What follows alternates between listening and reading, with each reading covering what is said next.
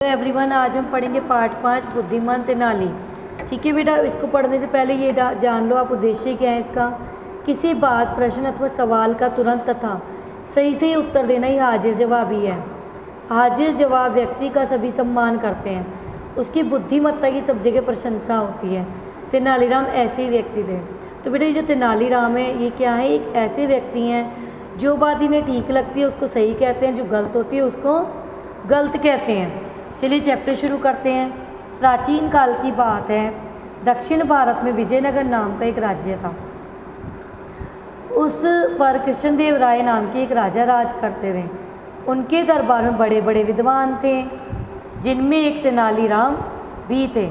तेनालीराम का वास्तविक नाम तो राम था, परंतु वे तेनाली गाँव के रहने वाले थे।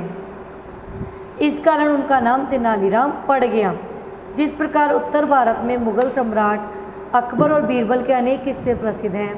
ठीक उसी प्रकार दक्षिण भारत में तेनालीराम के किस्से कहानियाँ बहुत प्रसिद्ध हैं।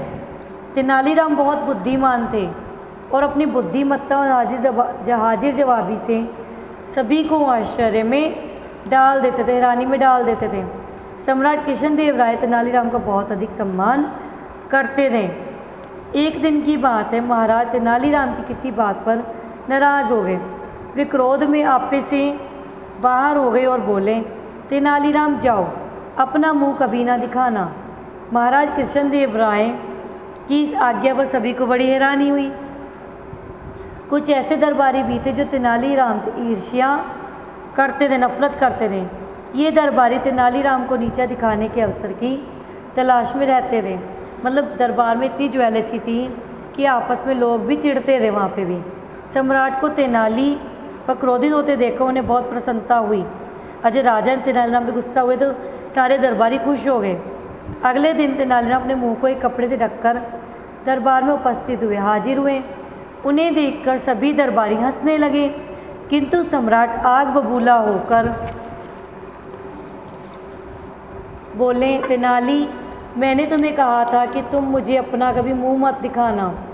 फिर तुमने दरबार में आने का साहस कैसे किया? कैसे तुम्हारी हिम्मत हुई यहाँ पे आने की? तेनालीराम को कारागार में डाल दिया जाए। सम्राट ने अपने सैनिकों को आदेश दिया।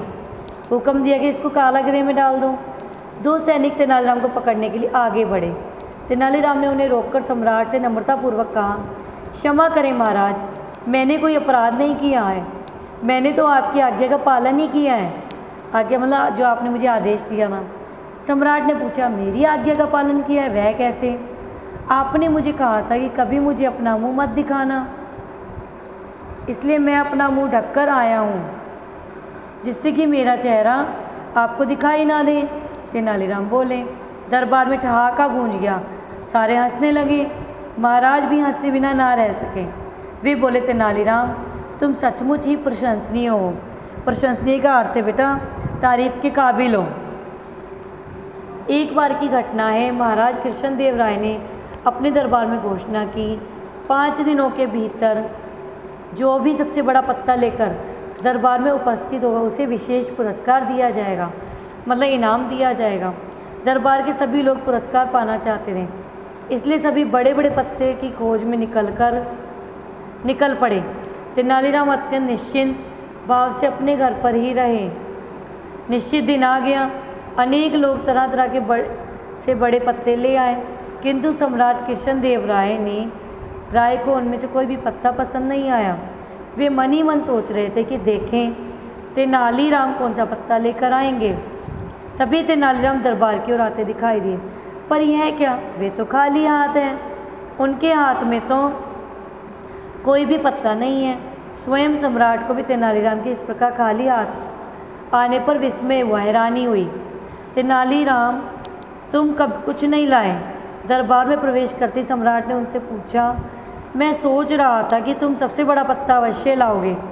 लाया हूँ महाराज, आपकी आज्ञा अनुसार सबसे बड़ा पत्ता लाया हूँ। सम्राट को प्रणाम करते हुए तेनालीराम ने उत्तर दिया। क्या उत्तर दिया देखिए? पर तुम तो खाली हाथ हो सम्राट ने कहा। तेनालीराम अपनी जेब से एक पान का पत्ता निकाला और उसे सम्राट को देते हुए बोले महाराज, मुझे पान के इस पत्ते से बड़ा कोई पत्ता नहीं लगा, इसलिए मैं इसी को ले आया। पर यह तो बहुत छोटा पत्ता है। सम्राट ने तेनालीराम से कहा, अब राजा ने कहा तो बहुत छोटा पत्ता है तो किसी काम का नहीं है। क्षमा करें महाराज, मुझे माफ़ करें महाराज, केवल आकार में बड़ा या छोटा होने से कोई छोटा या बड़ा नहीं बन जाता। केवल पान का पत्ता ही प्रत्येक शुभ एवं मांगलिक अवसरों पर होने वाले पूजा पाठ या अनुष्ठान में काम आता है। हम पूजा पाठ में क्या करते हैं? केवल पान के पत्ते से पूजा को संपन्न करते हैं। इसलिए इससे बड़ा भला कौन होगा? तेनालीराम ने बड़े ही सरल भाव से कहा। सम्राट कृष्णदेव राय का हृदय गदगद हो गया, खुश हो गया। सभी दरबारियों ने भी तेनालीराम की खूब प्रशंसा की तेनालीराम के विरोधियों को भी उनकी बुद्धिमत्ता का लोहा मानना पड़ा।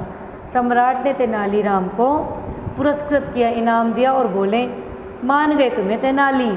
इस पाठ से बेटा शिक्षा क्या मिलती है हमें? सदैव बुद्धि बल से काम लो। हमें हमेशा अपने दिमाग से, माइंड से सोचकर ही काम करना चाहिए।